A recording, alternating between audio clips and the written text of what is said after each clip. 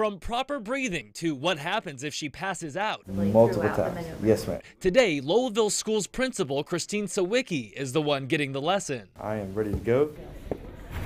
Suiting up for the ride of a lifetime. How are you feeling?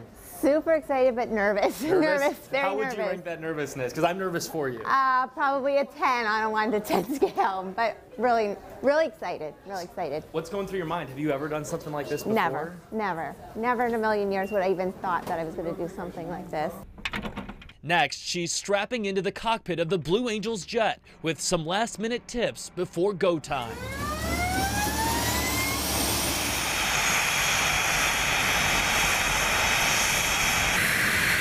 Sawicki chosen for a VIP ride ahead of the Cleveland Air Show, getting a show of her own.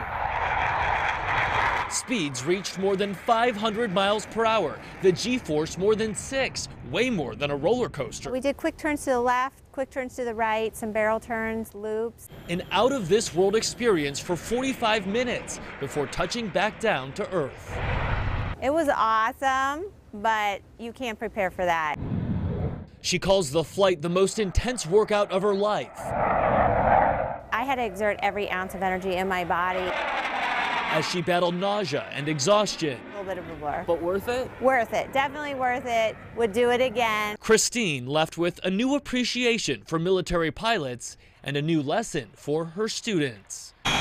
Just to let them know that they can do anything. If you put your mind to it, you can definitely do anything that you set your mind to. In Cleveland, Matt Wright, Fox 8 News.